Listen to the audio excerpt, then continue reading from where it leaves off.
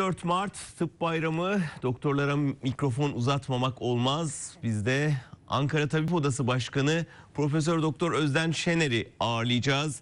Özden Şener Ankara'da Yıldız Yazıcıoğlu'nun konuğu. Mikrofonu ona devrediyorum Yıldız.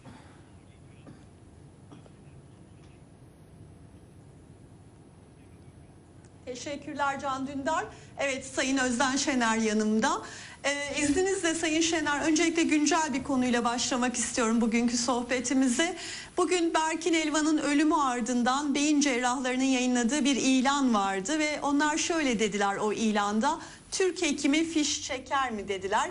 Ee, Türk hekimi fiş çeker mi ve aynı zamanda sizin de uzmanlık alanınız beyin cerrahisi. Bunu nasıl değerlendiriyorsunuz? Evet, bir nörolog olarak da söyleyebilirim elbette. Hekim fiş çekmez. Türkiye'de zaten bunun yasal zemini yok. Fiş çekme dediğimiz şeyden ne kastedildiğini çok da anlamıyorum ama bir hayata son vermekten söz ediliyor. Hani bugün de tıp bayramı. Gerçekten bu böyle iddialar beni insanlığımdan utandırıyor aslına bakarsanız. Kabul edilebilir şeyler değil. Bu arkadaşlarımız, meslektaşlarımız, sağlık çalışanları orada 269 gün bir emek verdiler, baktılar, yaşatmaya çalıştılar Berkin'i. Kaybedildi. Çok üzgünüz bunun için. Ama kim nereden nasıl bulup çıkarıyor böyle bir iddiayı bilmiyorum. Kabul edilebilir bir şey değil tabii. Kınıyorum kendisini. Kim çıkarmışsa bu sözü.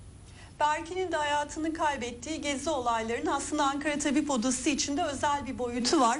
Siz o olaylarda Ankara'da gösterdiğiniz hekim görevi nedeniyle yürüttüğünüz hekimlik hizmeti nedeniyle Sağlık Bakanlığı ile şimdi karşı karşıyasınız.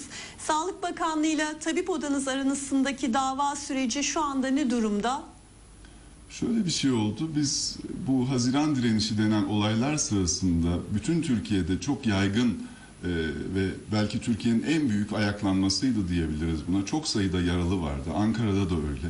Ve hekimler, sağlık çalışanları ve gencecik tıp öğrencileri bir sorumluluk duygusuyla alanlara koştular ve ellerinde ne varsa onunla ilk yardım yaptılar. Biz de tabip odası olarak elbette yasanın bize emrettiği şeyi yaptık her şeyi düzene sokmaya gayret ettik. Olabildiğince bu yardımları, tıbbi yardımları düzene sokmaya gayret ettik. Bu Sağlık Bakanlığı'nın dikkatini çekmiş. Şaşırdığım şey o süreçte Sağlık Bakanı'nın ben bir kez sesini duymadım. Bir kez ya bu kadar çok gaz bombası atmayın insanlar ölüyor dediğini duymadım. Kafalara kapsül atmayın dediğini duymadım. Bir kez sesini duyduk. Siz ne yapıyorsunuz dedi bize. O dönemin Sağlık Bakanı hatırlatalım hemen Recep Akdağ'ydı. 26 Aralık'taki kabine revizyonuyla şimdi Mehmet Müezzinoğlu oldu. Şimdiki bakanla bu dava süreci için bir temasınız oldu mu? Yani mesela bugün 14 Mart Tıp Bayramı bir bayram affı e, söz konusu mu yoksa Sağlık Bakanlığı ısrarlı mı tabip odasından davacı olma konusunda? Bizim Mehmet Bey'den bir af dileyecek bir kabahatimiz falan olmadı doğrusunu isterseniz. Biz hekimlik mesleğinin bize emrettiği şeyi yaptık. Diplomamızın bize emrettiğini yaptık. Hekim olmasaydık da yapardık. İnsan olarak bir yaralıya acil şartlarda yardım etmek elbette herkesin yapacağı bir şeydir. E, Dolayısıyla biz o görevi yerine getirdik. Mehmet Müezzinoğlu açtı bize davayı E, ve bu dava süreci devam edecek elbette. Ama söylediğim gibi yasa bize bunu emrediyor.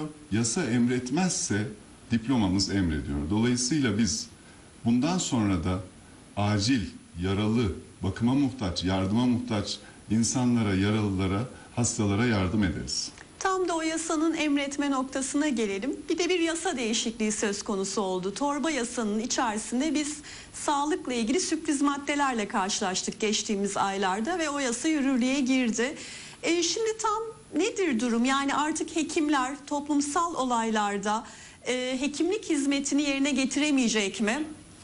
Doğru böyle bir düzenleme getirildi. 18 Ocak'ta yasalaştı bu resmi gazetede yayınlanarak. Deniyor ki acil durumlarda tıbbi yardım gelene kadar ancak dokunabilirsiniz, yardım edebilirsiniz yaralıya, hastaya. Onun dışında bir yaralıya, hastaya ruhsatsız olarak yardım ederseniz, onu tedavi etmeye çalışırsanız size hapis cezası veririz. 1 ila 3 yıl hapis, 2 milyon liraya kadar da para cezası. Ama bu bizim diplomamızın üzerine bir ruhsat olmuş oluyor. Bizim tek ruhsatımız var. O da bizim diplomamızdır.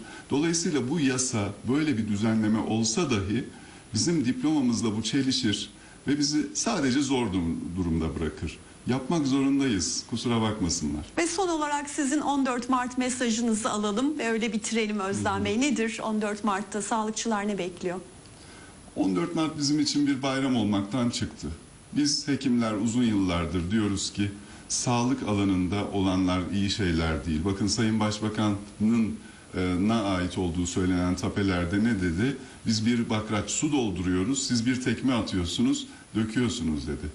Ama o su temiz su değil. Biz hekimler hastaların iyi sağlık hizmeti almadığının farkındayız Sayın Yazıcıoğlu ve bunun düzelmesi gerekiyor. Her doktor günde 100-150 hasta bakarsa burada iyi sağlık hizmetinden söz etmek mümkün olmaz. Evet, Sayın Özden Şener'den de 14 Mart Tıp Bayramı mesajını aldık deyip sözü yeniden Can Dündar'a bırakalım Can. Yıldız Yazıcıoğlu'na ve konuğuna teşekkür edelim ve her şeye rağmen doktorların tıp bayramı